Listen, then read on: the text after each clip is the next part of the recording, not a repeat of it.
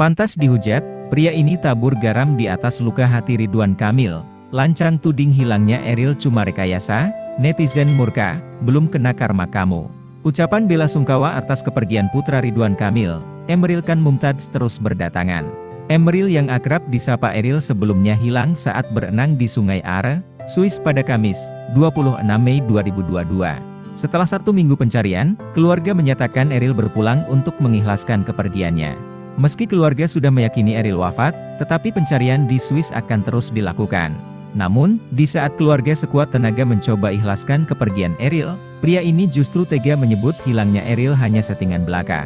Pernyataan pria itu sontak membuat netizen murka lantaran tega menyakiti hati keluarga Ridwan Kamil. Hal ini dikutip suar.id lewat unggahan akun Instagram Lambe Gosip pada Minggu, 5 Juni 2022. Dalam video berdurasi singkat ini menampilkan seorang pria dengan akun Kevin Wijayawe. Akun itu berkomentar soal hilangnya putra Kang Emil dalam unggahan terakhir di Instagram Eril. Namun, pria ini bukannya ikut berduka tapi justru menuliskan kata-kata yang begitu menyakiti hati. Bagaimana tidak, pria tersebut menuduh hilangnya Eril di Sungai Are, Swiss hanya settingan belaka. Sebelumnya maaf kalau saya lancang, bukannya saya nggak punya perasaan, empati atau apa pun itu. Tapi menurut saya, saya berspekulasi ini hanyalah sebuah rekayasa, atau settingan agar Pak Ridwan Kamil menang capres, ujarnya. Pria ini juga mengatakan hilangnya Eril sebagai trik marketing untuk dongkrak elektabilitas Kang Emil.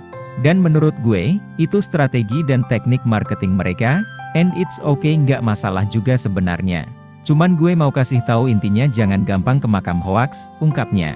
Zaman sekarang di era modern ini penuh drama dan isinya settingan semua tentang kebahagiaan dan kesedihan, tandasnya. Tak butuh waktu lama, video ini langsung mematik kemarahan netizen. Bagaimana tidak, mana ada orang tua yang mau kehilangan anaknya cuma untuk settingan.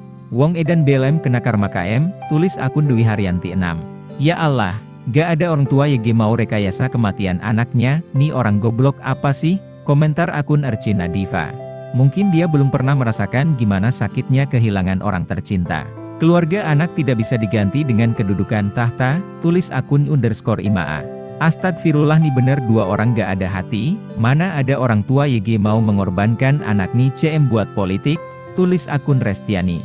Ya Allah, kalau boleh minta tuker saja yang hilang biar Airil kembali dan hilangkan orang baju biru itu, timpal akun Ratu Opias.